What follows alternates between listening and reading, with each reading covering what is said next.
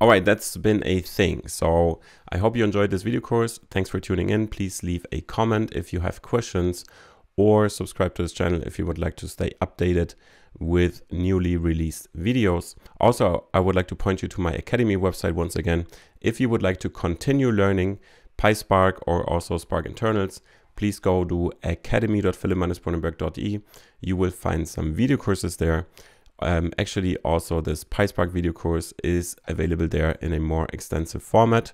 If you would like to become a pro level Spark engineer, I would suggest you to have a look at my coaching program.